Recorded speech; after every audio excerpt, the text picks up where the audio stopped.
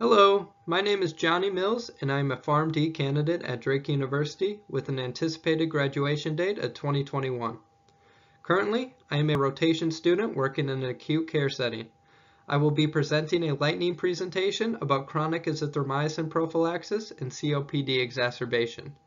The question I set out to answer was what are the risks of using chronic azithromycin as prophylaxis treatment for exacerbation in patients with COPD? The objectives I have for this presentation will give you a further insight on the topic. I will briefly summarize COPD exacerbations and explain how azithromycin is used for prophylaxis treatment. Then I will address adverse reactions and risks related to azithromycin use. Finally, I will discuss antibiotic resistance with prolonged azithromycin use in patients prone to COPD exacerbations. COPD exacerbation is defined as acute worsening of respiratory symptoms that result in additional therapy. The cardinal symptoms are increased dyspnea and increased sputum purulence and volume. The most common cause of exacerbation is respiratory tract infections. The strongest predictor of future exacerbation frequency in COPD patients is the number of exacerbations a patient has in a prior year. It was found that patients hospitalized for COPD exacerbation have a five-year mortality rate of about 50%, which is shocking. This image illustrates the cascade pathway for COPD exacerbation treatment according to the 2020 GOLD Guideline Report. As you can see, azithromycin is used as a possible last resort. Azithromycin is recommended in patients who are former smokers and still experiencing exacerbations after using LABA, LAMA, and ICS treatment together.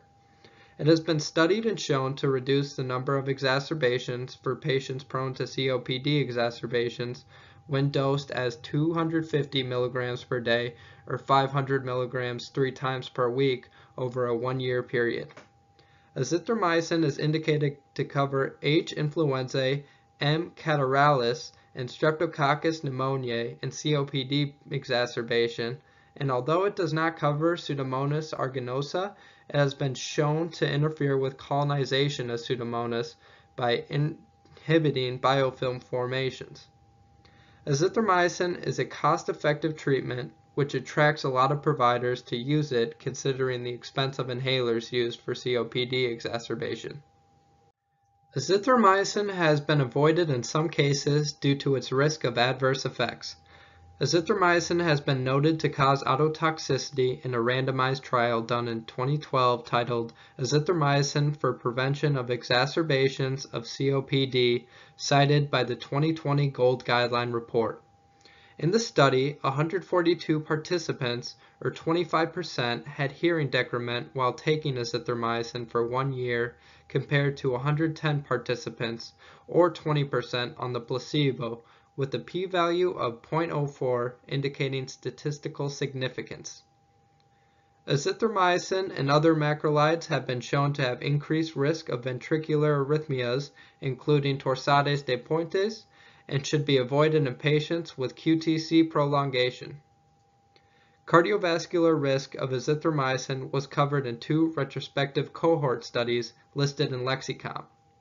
The first study conducted in 2012 looked at cardiovascular risk among other antibiotics including azithromycin, ciprofloxacin, levofloxacin, and amoxicillin. It was discovered that azithromycin had the highest risk and estimated 47 additional cardiovascular deaths per million courses of treatment associated in patients with higher baseline cardiovascular risk. The study noted that the results were not generalizable to the population as a whole. The second study conducted in 2014 looked at the population of U.S. veterans and displayed risk of mortality and arrhythmias on days 1 to 5 of azithromycin treatment, but not days 6 to 10. This is difficult to consider when studying long-term use of azithromycin and supports more research into azithromycin use over time. Resistance is important to consider for antibiotic stewardship. Overuse of antibiotics create a risk of resistance and threaten the community. A meta-analysis conducted in 2014 found that a one-year azithromycin use decreased bacteria colonization. However, patients were 2.7 times more likely to develop macrolide resistance. Evidence must still be gathered to find the effects of widespread macrolide use on community resistance patterns. The 2020 GOLD Guideline report stressed that there is currently no data for efficacy and safety of chronic azithromycin to prevent COPD exacerbations beyond one year. The effects of using azithromycin beyond a one-year period are unknown. Physicians who are deciding whether to use long-term azithromycin therapy must consider adverse effects and the impact of macrolide resistance when prescribing. In summary, long-term azithromycin is approved for exacerbation prophylaxis in COPD patients according to the 2020 GOLD Guideline Report. Azithromycin presents a possibility to cause adverse effects of ototoxicity, QTc prolongation, and cardiovascular risk, along with an opportunity to increase macrolide antibiotic resistance to individual patients as well as a community. More research must be conducted on long-term azithromycin use beyond one year. Initiating long-term azithromycin must be determined by prescribers on a case-to-case -case basis and used if benefits outweigh the risks. Thank you for listening, and please feel free to contact me at john.mills at drake.edu if you have any questions.